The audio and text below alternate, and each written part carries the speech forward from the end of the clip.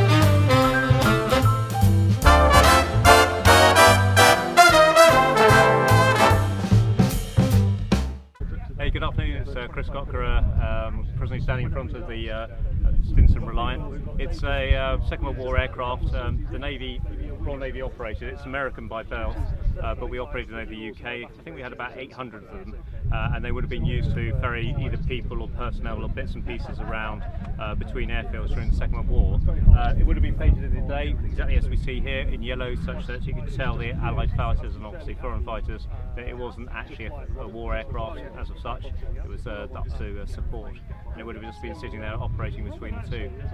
It's operated at the moment by Navy Wings, which is obviously trying to once again highlight um, the Royal Navy and the roles of the Air Fleet Air Arm through obviously 1909 when it all started for us, all the way through to the modern day now where we are with F-35. And uh, this is one of the things that would have been highlighted during the way uh, on the way for it. Thank you very much.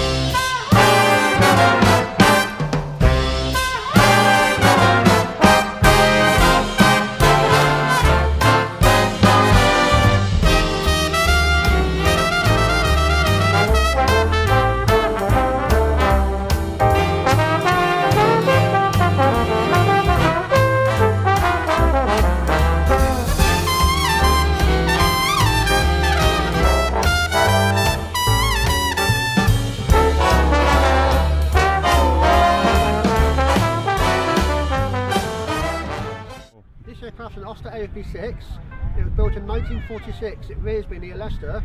It served in the army in the late 40s, 50s, uh, um, Germany, 657 Squadron and 651 Squadron. It finished its life in 1965 at, at Middle Wallop, which is in the Army Air Corps. I've owned the aircraft since 2012 and we love doing shows like this in its original condition as it would have been in its service days. It's a great fern, fairly easy to fly and it's a lovely airplane to take to events like this. Uh, what would it have been used for in service? It has been used for liaison and spotting. So basically, the army would fire the guns. This would go over and see where the guns are directed the guns. So if the guns were a bit short, it would get on the radio back and say, "You 10 degrees too short, just adjust the gun firing pattern really. So it's quite a dangerous job, flying about 200 feet above the battlefield. Quite dangerous, but it was worked. So Thank you very much.